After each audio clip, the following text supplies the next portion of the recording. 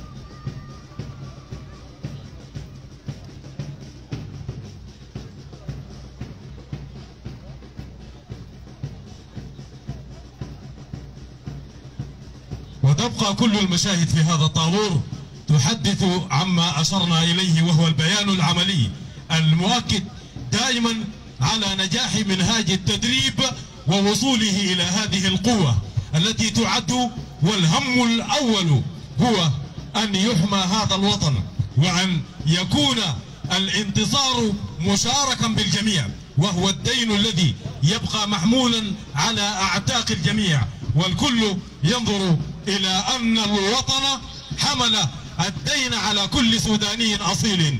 تنعم بأن ظلته هذه السماء ومشى على هذه الأرض التي سار قبلنا فيها أوفياء وشرفاء وأعزاء. منهم من لقي ربه ويقدم روحه على مسيرة طلقة أو على تفجر دانة أو على سهم من عدو كان فيها. يقدم الروح بكل الكرم. عطاء معه استرخص كل شيء فلا بد من أن نكون على مسيرة الأجداد وعلى طريقهم أوفياء للوطن. وها هم النمور اليوم يتخرجون ويؤكدون بهذه الصورة القوية والمجادة من الطابور التدريبي على أننا جاهزون لنؤدي ما علينا ولنقوم بالمهام بكل الأمانة والإخلاص والاقتدار.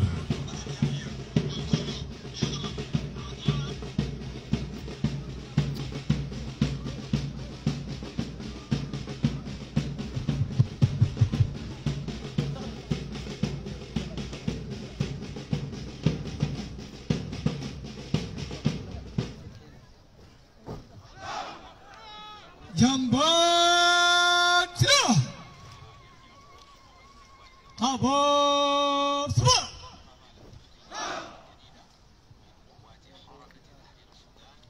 الآن الاستعراض والمرور والتحية من أمام المنصة يقدمها الطابور بعد استئذان السيد قائد الطابور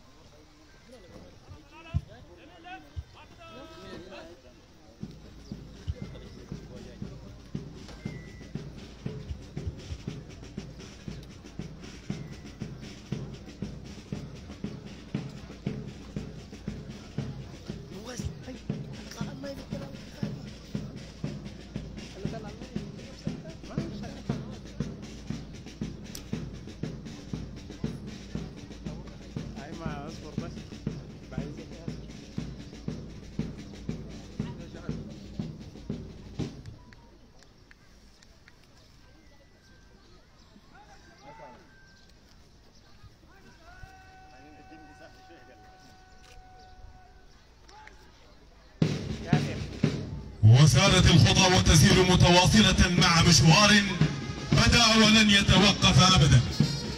سارت الخطى وتسير إلى غاية هي الأمعن. ورفرفت الرايات في كل أرجاء الوطن. حملت عزة سطرها أوفياء منذ الأزل. قدموا لنا دروسا قوية وعميقة في الفداء والوفاء للوطن. فالصورة التي تبدو الآن يعظمها مشهد مسيرة هذه البيارق وهذه الأعلام مع العلم تسير تحكي عن أصالة نحملها دائما ورددناها ونرددها بكل عز بدأت بشعار القوات المسلحة. الله الوطن. ثم حملناه مربوطا متصلا مع شعار الشرقية. شرقية فوق شرقية فوق. ثم ربطناه مع شعار الأوفياء الذين ما رأوا إلا أن يقفوا مع الوطن ومع القوات المسلحة ومع أمان الوطن فكانت كلماته أمن سلام وعدالة. هكذا هي مقالاتها دائما تتصف بالقوة وتتسم بالأمان وتتوشح بكل وشاح الشرف. حركة تحرير السودان. قيادة القائد مصطفى دمور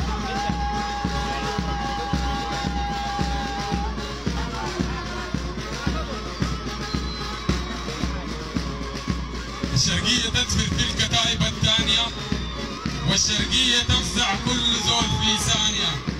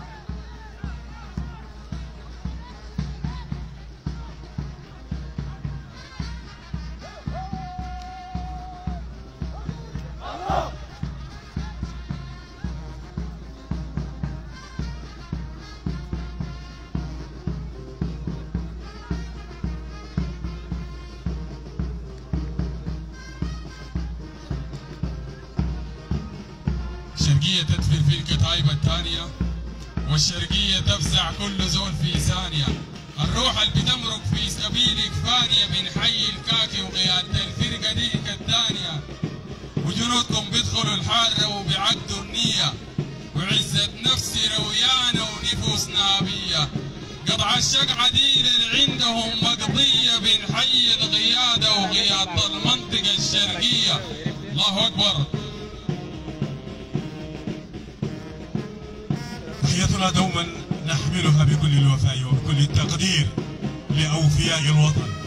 وفي هذا اليوم والتاريخ يسجل في إحداثياته في محطته الزمنية الرابع الثالث من جماد الأولى من العام الهجري 46 و400 وألف موافق للخامس من نوفمبر من العام الميلادي 2024 خروج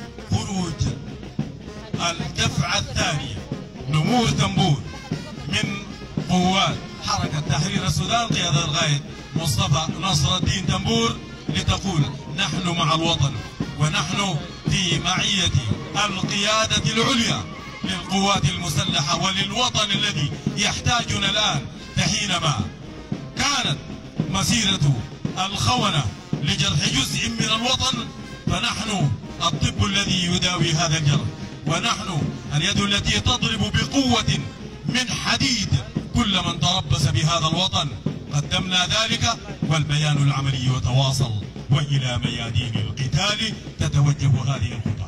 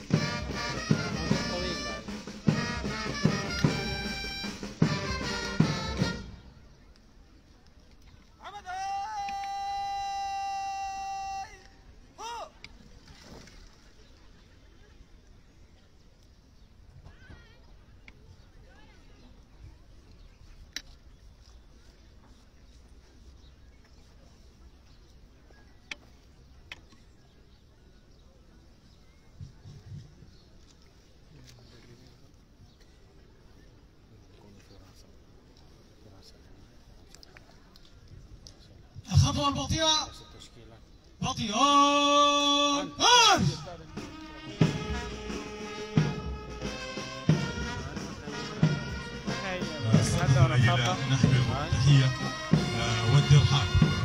آه، باسم قيادة وقيادة هذا المعسكر مستشار رئيس لجنة التشريع والقانون ومستشار المقاومة الشعبية ووكيل ناظر آه، الأستاذ هادي الهدام علي وكذلك آه، الأستاذ سيف الدين محمد موسى المستشار.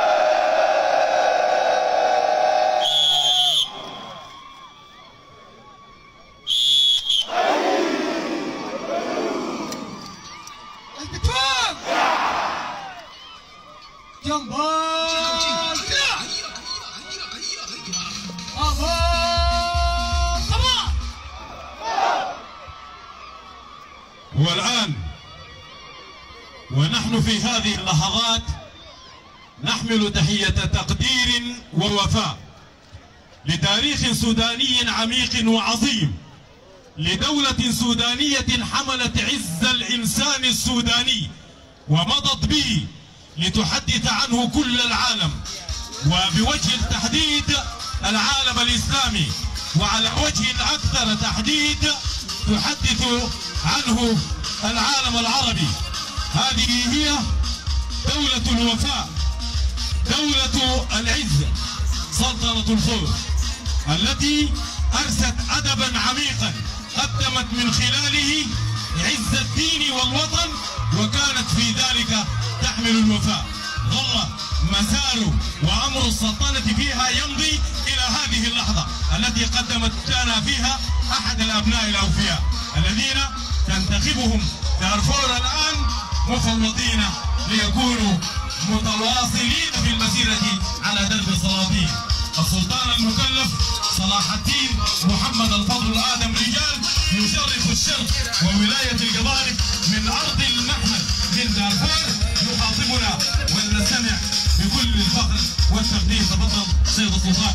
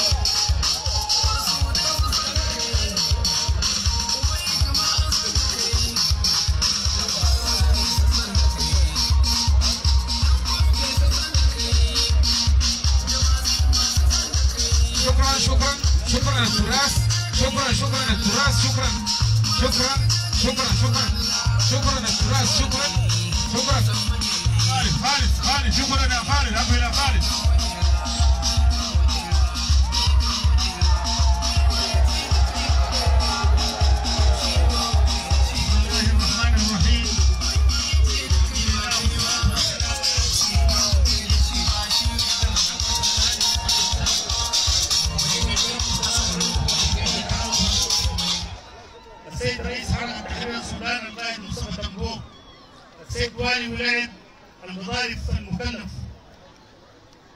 السيد قائد المنطقة الشرقية سعادة اللواء الركن أحمد محمد عماس السيد قائد الفرقة الثانية القضارف العميد ركن عبد الحكيم علي أبري السيد السيد مدير شرطة ولاية القضارف السيد مدير أمن القضارف السيد قائد قوات مصطفى تنبور اللواء محمد يوسف السادة الضيوف الكرام بمقاماتكم السامية السيد ناظر دار بكر السيد سيف الدولة حيدر ضيوفنا من قبائل السودان قبائل السودان المشاركين في وفدنا السيد أمين عام حركة تحرير السودان المجلس الانتقالي السادة قيادات الإدارة هي ولاية القضارف أحييكم تحية الإسلام الخالدة.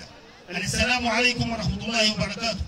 ويطيب لي أن أخاطب جمعكم الكريم هذا نيابة عن مجلس أعيان وشور الفور والمجلس الأعلى للإدارة الأهلية بإقليم دارفور.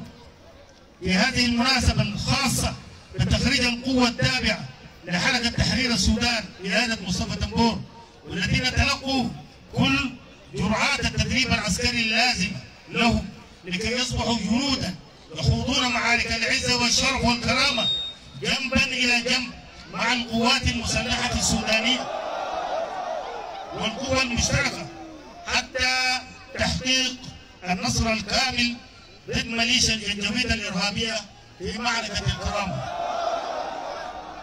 ونقدم تحية إجلال وتقدير للقوات المسلحة السودانية والقوى المشتركة وجهاز الأمن والمخابرات العامة والشرطة والمستنفرين على الدور البطولي الكبير الذي قامت به في دحر ومحاصرة الميليشيا المتمردة ومشروعها المدمر لوجود الدولة السودانية وشعبها. ونشيد بالانتصارات التي حققتها على ميليشيا آل دقلو في المعارك الأخيرة في وسط السودان والخرطوم والجزيرة. وكذلك نحيي القوى المشتركة ومواطني مدينة الفاشل والشرفاء الذين يقاتلون مع القوات المسلحة دفاعا عن فاشل السلطان الباسلة التي أفشلت. الله أكبر. الله أكبر. فاشل السلطان الباسلة التي أفشلت مخططات آل دوغلو في احتلال المدينة وإعلان